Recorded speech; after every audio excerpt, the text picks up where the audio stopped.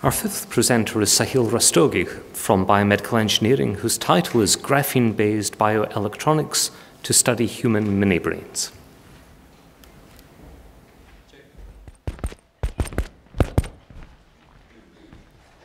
The human brain, as we all know, is the computational unit of the body that is made up of specialized cells called neurons.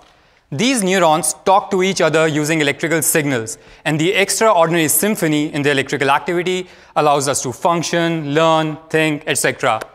Damages in neuronal networks can lead to devastating neurological diseases, such as Alzheimer's and Parkinson's.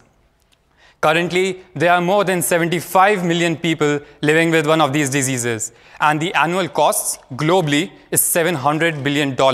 That's more than 1% global GDP. And the worst news is these numbers are rising.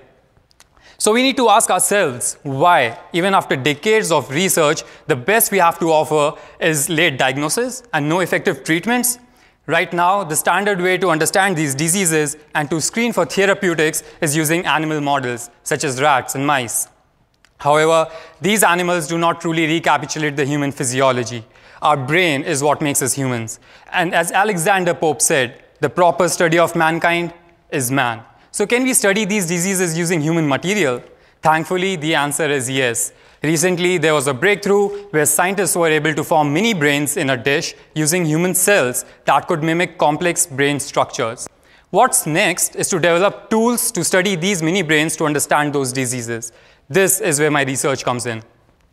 I'm developing graphene-based nanodevices that can record electrical activity from these mini brains at a single cell as well as network level. Graphene is a carbon-based thinnest material on Earth with extraordinary combination of high electrical conductivity, high transparency, and superior flexibility, making it a unique nanomaterial. So how can we use these nano devices? First, we'll have to generate mini brains using the cells from a diseased patient and a healthy individual. Next, these nano devices will monitor the electrical activity of these mini brains as they're maturing and developing.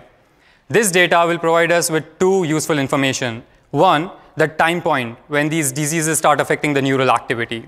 And second, the exact circuitry that is being affected by these diseases. In addition to that, these devices will provide us with a platform to screen for various drugs to treat different diseases.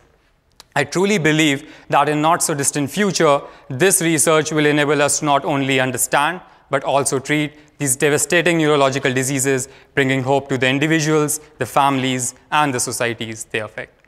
Thank you.